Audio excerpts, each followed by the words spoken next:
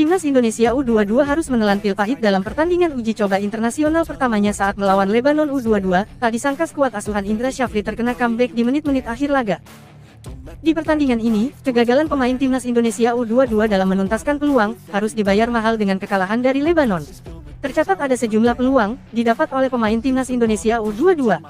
Setelah bermain imbang tanpa gol di babak pertama, Indonesia berhasil unggul lebih dulu pada menit ke-84 berkat gol bunuh diri bek Lebanon Ali Alrida Ismail.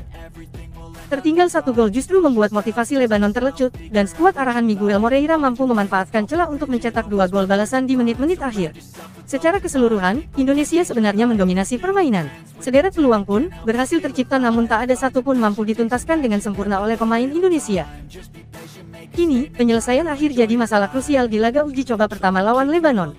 Namun, kekalahan ini bisa jadi bahan evaluasi bagus untuk membenahi kekurangan Indonesia U22, jelang tampil di SEA Games 2023. Namun, banyak pengamat menilai jika penampilan timnas Indonesia U22 pada pertandingan tersebut memang kurang tampil menggigit, dan malah terkesan sangat membosankan.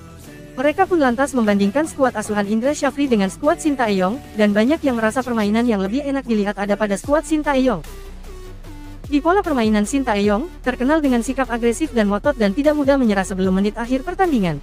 Selain itu, mereka juga menerapkan strategi umpan-umpan pendek dan cepat, berbeda dengan pola permainan Indra Syafri yang lebih banyak melakukan umpan-umpan jauh tapi tidak beraturan.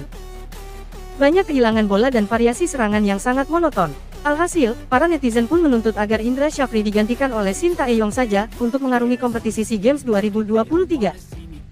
Mereka lebih yakin dengan sistem permainan yang diusung oleh Sintayong ketimbang Indra Syafri, setelah menyaksikan begitu monotonnya permainan timnas Indonesia U22 di laga pertama melawan Lebanon.